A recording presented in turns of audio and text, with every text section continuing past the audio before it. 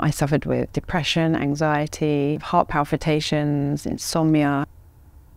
I came across the treatments. I couldn't believe the impact that just having one treatment um, had on me.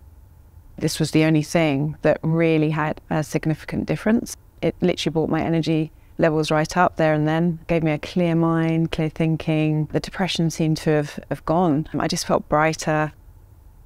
Master Oh's teaching is very simple but very beautiful. He's teaching us to uh, connect with the source, um, work on our spirit, then we can work on our mind, and then we can work on the rest of us as well.